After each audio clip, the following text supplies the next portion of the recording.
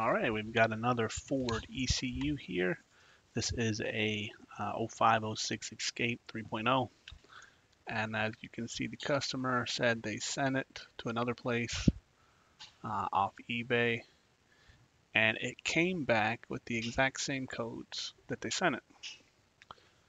Okay, and they say it looked like it wasn't open, but it, it's hard to say. They did put their little stickers on there. Uh, there's no hole in the back. And this isn't cut, so I know they didn't go into the back of it, which for the misfire repair on these, you have to go into the back of it. Um, so let's, let's see what they did. I bet you they did not replace the buffer on the back of the board and they thought just doing the front was enough. That is a uh, rookie mistake for these.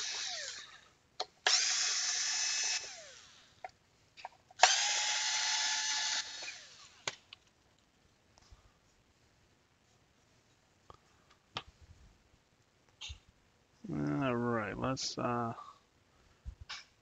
crack into it here. Ah, man, they they didn't they opened it, they didn't seal it.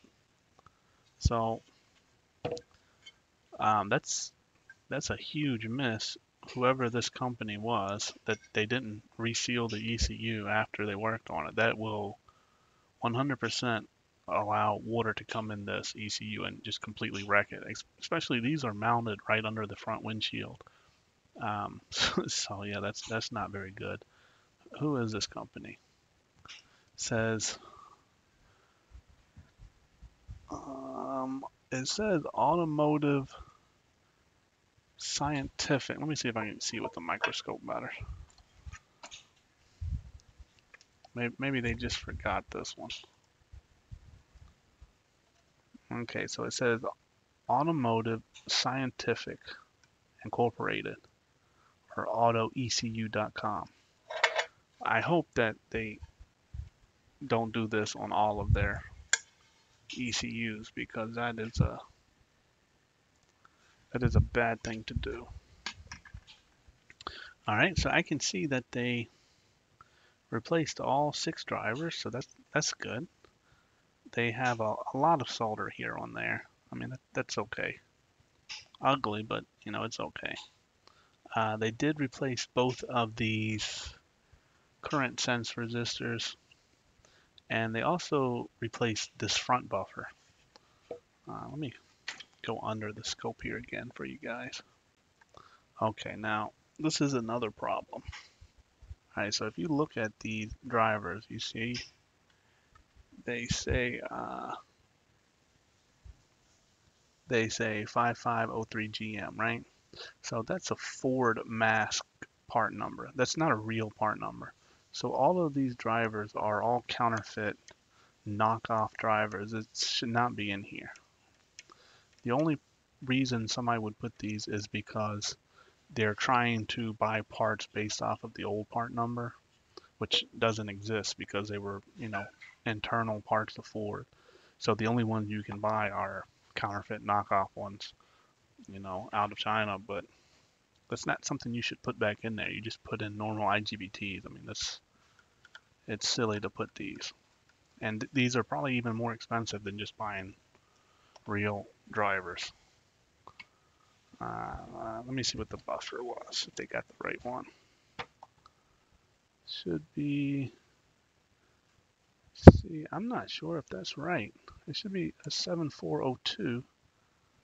This is a 102. I don't know if that's the same or not. That, that may be okay, but I'm going to change it anyway. I don't want to use what they've already got there. Uh, and I'm going I'm just going to end up changing everything. Tell you the truth. But we can test it first to make sure that it's not working. I have to program a key to it. So uh, give me one second while I get all that set up. So a really weird thing with this computer here. I tried several different tools, including IDS, and I haven't been able to get security access to add a key. R really weird. I've never seen that before. But what I'm going to do is I'm going to pull off the EEPROM here and just I'm going to EEPROM a key just because I want to be able to test it. But uh, let me go ahead and just pull the EEPROM off.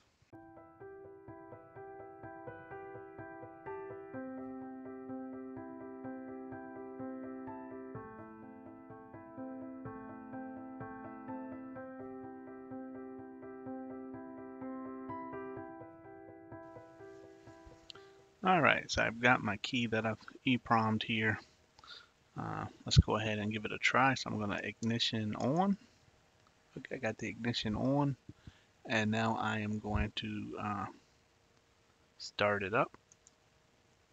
And there we go. We see uh, these six lights right here. So just ignore these. So those six are the fuel injectors. And all six injectors are working as they should. And these six much dimmer ones are for the um, ignition coils. And as we can see, we, we are missing coil 1. So it goes coil 1, 2, 3, 4, 5, 6. And we are missing coil 1. Alright, so let's hook up our oscilloscope and see if we can see what signal we're missing. Most likely you're going to be missing the um, signal to drive the MOSFET. So the oscilloscope is open there in the top left of the screen. I'm going to check the outputs of all the uh, drivers here. And I'm, I'm going to start with this bottom one. In fact, let me, if I can, I can't remember the order. I think it's one, three, two, four, five, six, I think. All right, this could be four and this could be two and this is 5 and 6.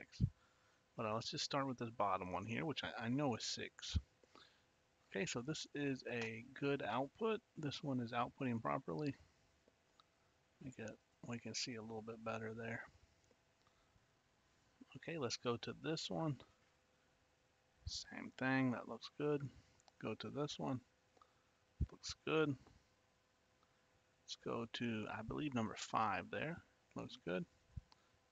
Uh, this is number three. Okay, and this is number one. This is the one that's not working. And we can see it's not being pulled low. So, you know, we're getting the power from the fuse box, in this case, my tester here. And the MOSFET is, I'm sorry, not the MOSFET, the IGBT is supposed to be pulling it low when it wants to fire, and that would light the lamp. So if you look at these ones, we can see it being pulled low. Okay, you can zoom in here. I guess that set a trigger might make it a little bit easier.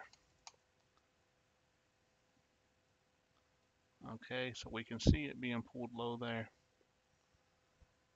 And this is the number one again, the bad one.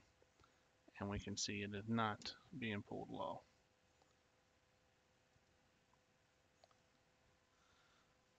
All right, so now let's check the um, the gate control for each one. I'm going to start here again at this bottom driver, which uh, I'm pretty sure is number six.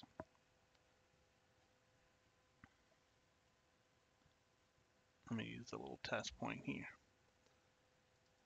All right, so now this one we can see is a little bit different. This one is actually um, a high signal, uh, high low voltage signal there. So it goes up to 5 volts. And whenever you see that 5 volts here, then it, it will pull the transistor down on the back. So if I was to hook up a second probe, you, would be able to see that.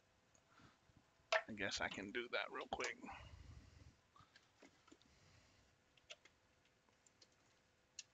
Alright, so red is going to be the output, blue is going to be the gate. Okay.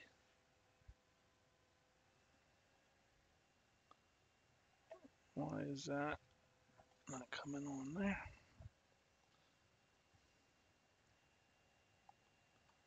Okay, there it is. All right, there. So there's our red, and we can see it's being pulled low at the same time that our gate is being driven high. All right, so we're gonna go to the next one. I'll just do them both again here. Sorry, my red probe is being a little delayed there. There we go, we see the same thing there. Let's go to this next one. That one's good. Go to this one. We see that's good. Okay, we're gonna go to driver number three. That's good. And now we're gonna go to the faulty one. That is not being pulled low. Let's check the gate control. And that's pretty weird. Our gate control is completely high. But I'm assuming that there's probably um, no no actual current there. It's probably just my probe picking that up there. So let, us remove this uh, let's remove this transistor here and see what happens. And Mike can see the, the gate signal a little bit better. If we're lucky, it would just be the IGBT that's bad, but you know, I, I know these units, I know that's not the case, that they pretty much, the uh, buffer on the back pretty much always goes bad. And in fact, that's usually what goes bad to make the drivers themselves uh, start making the coils fire too much and then they overheat and kill the drivers that way.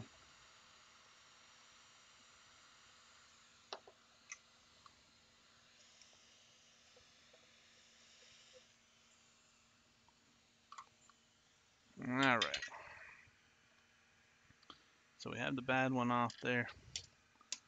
And let's check this again.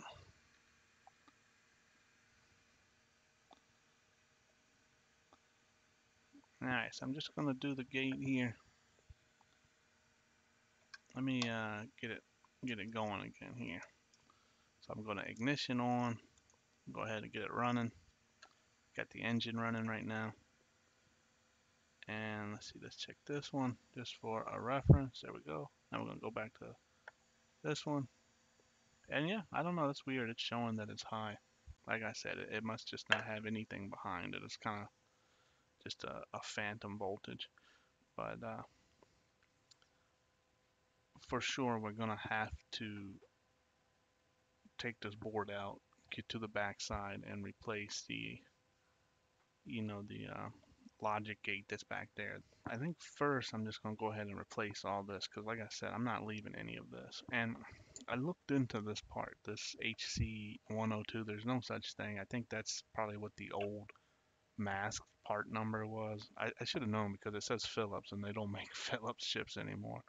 So uh, it's, it's a really, you're supposed to have a 7402 and their old mask number was uh, 102 or something dumb like that. And like I said, this place that repaired this, they they don't know how to actually order actual real parts, so they just buy counterfeit parts that have the original fake names on there. Uh, I, I'd be wary about sending my units to places like that. Um, a lot of the counterfeit parts, you know, not very good. Some of them are okay, but a lot of them are not. But anyway, let me get all this stuff removed, and then uh, we'll, we'll talk about going to the back of it.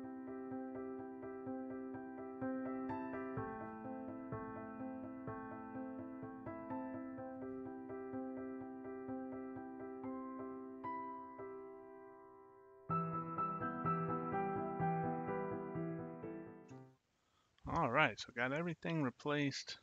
Uh, got the board back in the case here because these tend to get very hot when you turn them on.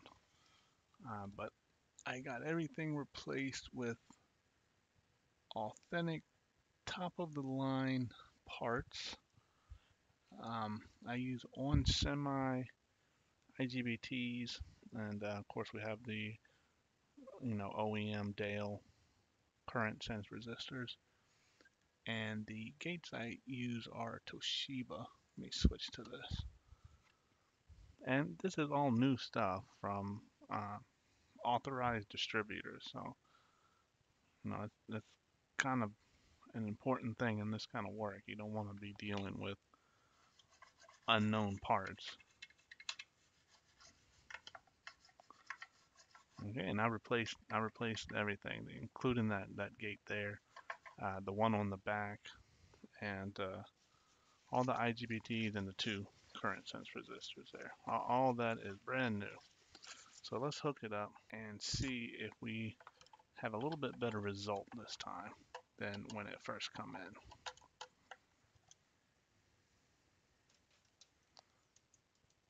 Okay, so power is currently off. Let me get my little chip here. So I'm going to ignition on. Okay, and now I'm going to run the engine. And there we go. We have all six coils going. Alright, so just like before, red is the output, blue will be the gate or base.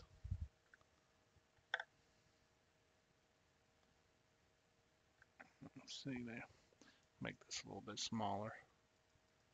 And there you go. We have our base being driven high and we have our output being brought low. So that working just as it should now. So last thing I have to do is I'm going to apply some conformal coating because the board come with it. So anytime there's conformal coating on the unit I work on, I always put it back.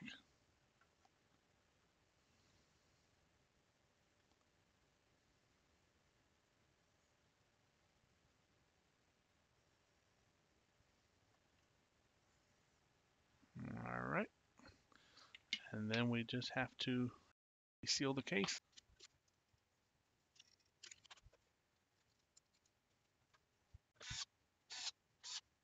And there we go. One successfully repaired Escape uh, PCM.